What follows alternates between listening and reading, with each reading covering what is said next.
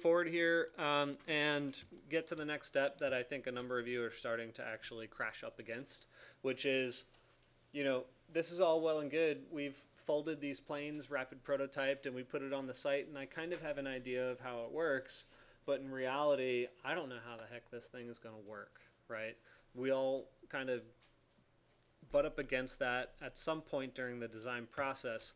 But what you need to do at that point is to essentially just, um, you know, stretch and pull, right? So as designers, nothing we do that is diagrammatic or process driven or some sort of like morphological, um, you know, algorithmic approach is going to be a literal translation into the project.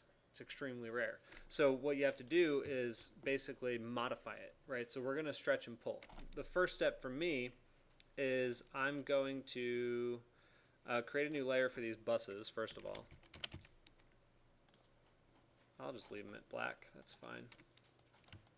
And then I'm going to extrude the curves of these buses. Do any of you guys recall how tall they were? Uh, 10 feet. Is that what they were? Okay.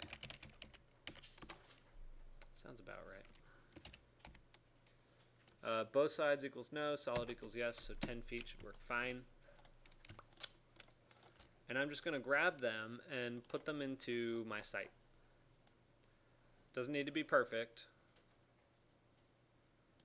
but they're going to sit right about there for now.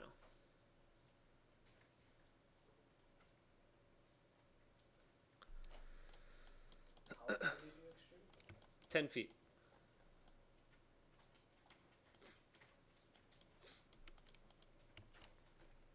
So, um, one of the things that I kind of want to do with this space is create an interior enclosure with kind of a grand, uh, let me look at it in perspective, right? So I'm going to create kind of a grand connection here where the buses pull in um, and people can filter out, but it's it's going to kind of blend the interior and exterior space a little bit. It kind of has to with this archetype, right?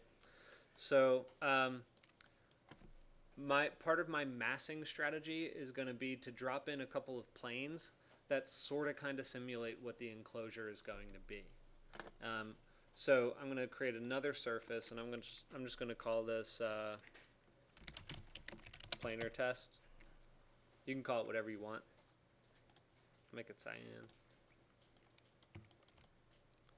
Okay, and uh, so something that's kind of clever, I think, is uh, you know how when you grab an edge, you can uh, hold, I think it's control. No, not control, sorry. Shift. Darn. I'm forgetting my hotkeys here. Control, shift, and which one was it? Alt, shift. Darn, I'm forgetting now. Which one was it? It's not alt. Shift, it's not control. Anyway, uh, this is what this is how I'm going to do it anyway. Um, since I can't remember the hotkey for it, um, what you can do that's pretty clever is using the uh, the edge selection option. You can very easily just create handrails and guardrails just by pulling up the edge of a surface. In terms of massing, that's pretty powerful. So I'm going to just control shift click and grab these surface edges. And uh, I need to double check that my other layer is on and it didn't even retain my layer stuff. So, um, so anyway, I'm going to take these and say extrude curve and I'm going to extrude it four feet. So we're kind of getting at something with that, aren't we? Right? It's a pretty good rapid prototyping way to create the idea of either an interior or exterior environment. And then, um, you know, to kind of make things a little bit easier on myself, I'm also going to control shift click on this surface edge and do the same thing, but I'm going to go down. So extrude curve, whoop, if I could spell it right. And I'm just going to pull it down as long as that surface goes down far enough beyond the bottom plane, I'm good with that. I don't need to worry too much about it beyond that. And the good thing is here, when I'm looking at this surface, um, I need to essentially just verify that it kind of creates the idea of enclosure, and then I'll worry about trimming it out later. Okay, so this is kind of a complete surface on that side of the building. Now the other thing I want to do is create a surface, a similar surface condition on the other side of the building, um, but I don't want it to conflict with these buses. So I'm going to start off by bringing one in and down from this edge. So I'll just kind of carry the extrude surface down. Like that. That's a good start. I'll do another one right there. And then I don't really have an edge to borrow here in this particular location. So for me, I'm just going to um, draw one. So I'll just kind of draw a line. I'll say line command from here to say, well, let's find a spot that's going to work for me. Actually, I'll just follow the the axis. So usually you'll have some geometry um, that creates this relationship, some diagram. But for me, with with project on, I can just kind of lock to that and just pull it a little bit beyond the other surface, and that'll give me something to then extrude. Okay, so like I said, these are massing elements they're not going to actually be the surface because I need to enclose it separately. So um, the the major driver here is to say, well, where is where's where are the uh, intersections that are going to create that enclosure properly? So um, I'm going to create a new layer, and I'm going to call this glazing. I'll make these ones green.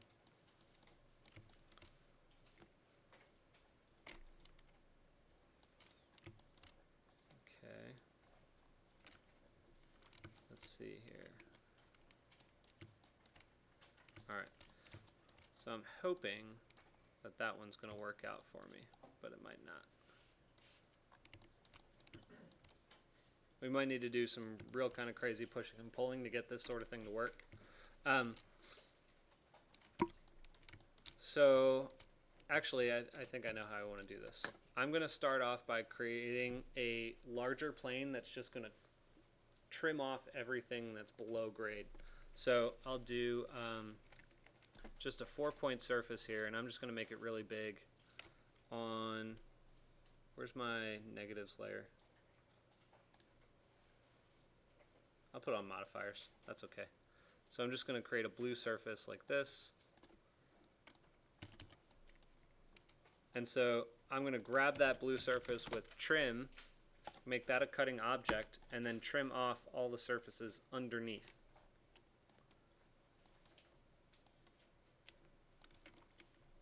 So how many of you guys have no idea why I did that? You guys all know why I did that?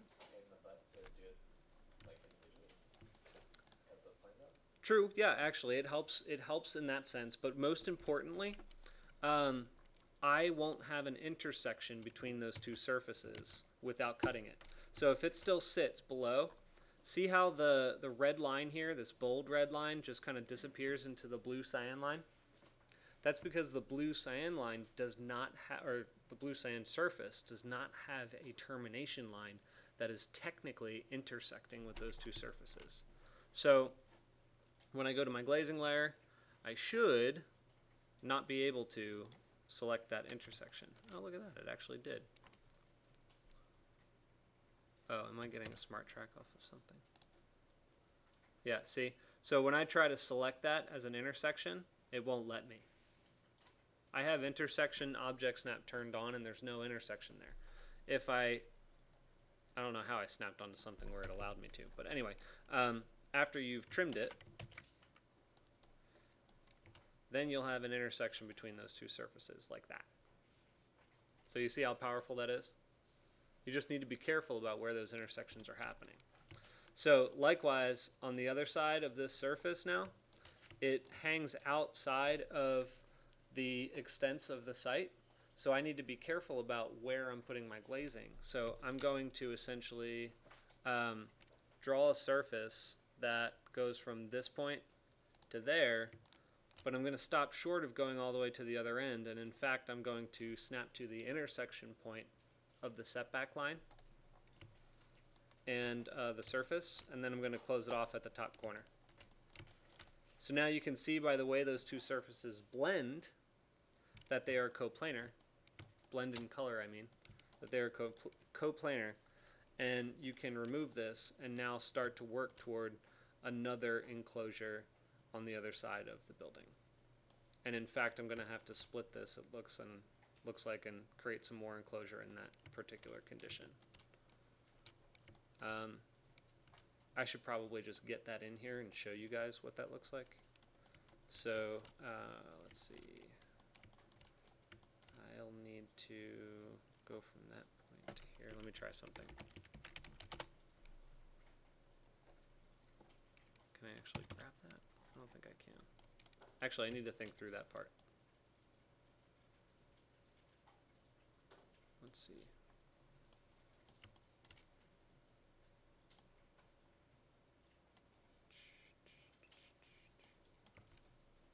Yeah.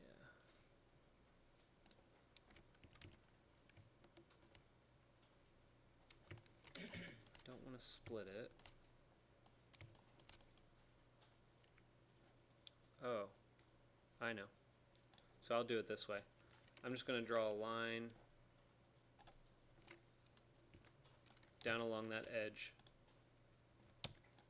which didn't work for some reason. Where's that line? Hold on. Line from this corner down the edge, and now I've got a curve there, which I can extrude in that direction. So that'll help me get the directionality I'm looking for. So I say extrude curve, and I'm going to pick um, from the, oh, I'm snapping at too many things here. Extrude curve. All right, so here's what's significant. When you've got a curve like that that you're trying to create an extension of, um, you have to set a direction. And I'm going to set that direction from an intersection point along there to the endpoint point and then pull it off.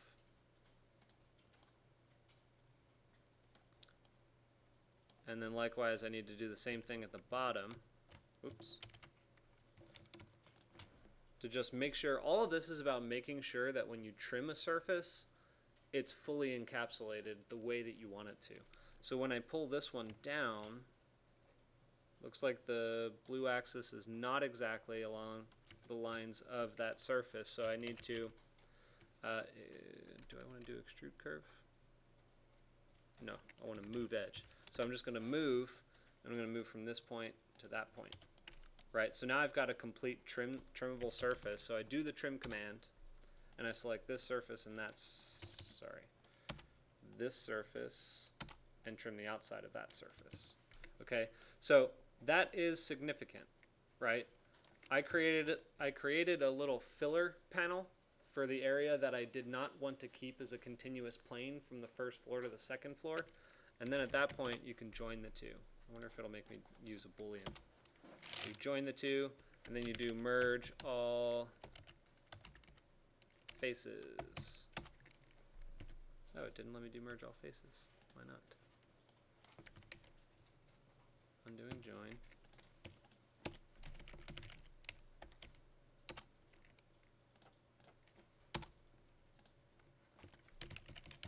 Merge all faces. Interesting. I wonder, oh, it's not exactly planar. Look at that, I didn't do it right. Hmm. Alright, well my mistake. I made a mistake there. It looks like I must have just messed up my first extrusion.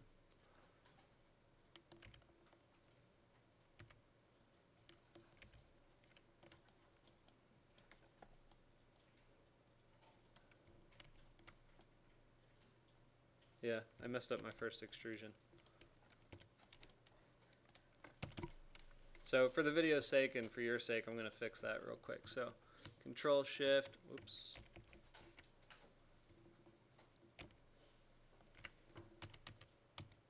There we go. Control shift, grab the edge. Extrude curve. Set the direction. I'm gonna go from a midpoint along this.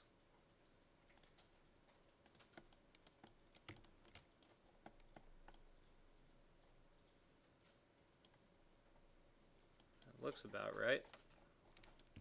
Looking at it in top view, that looks right to me again.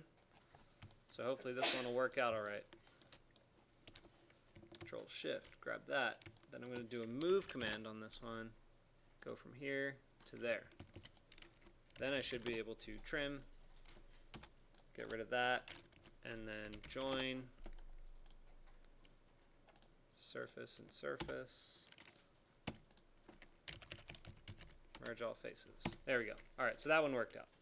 So it looks like I had an error with how I uh, trimmed it out. So that's how you're going to um, join those surfaces. So what you're going to wind up with is a, a truncated relationship between the first and second floor.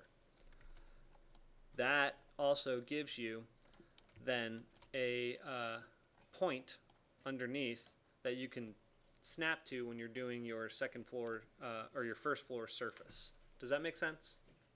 Kind of how I'm thinking through this. I know it was a really long kind of monologue, but I'm trying to get you to just visualize how you would go through creating the actual exterior environment. So I imagine you probably have questions after that. And then, well, so the next step then would be to do the same thing where you begin to transition all these surfaces. And then uh, this one would go away. And I'd figure out a way to actually create a surface between these two. So for me, I would actually just grab this. And I'm going to extrude that curve then.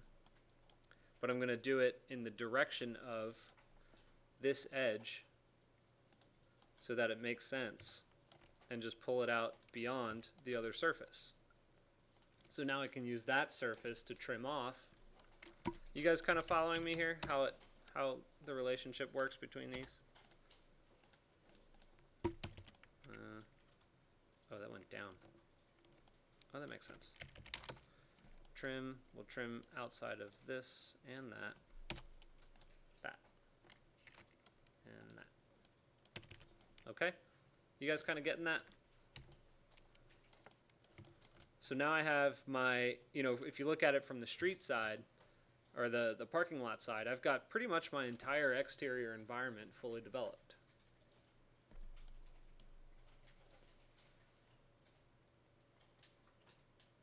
I see a lot of blank faces.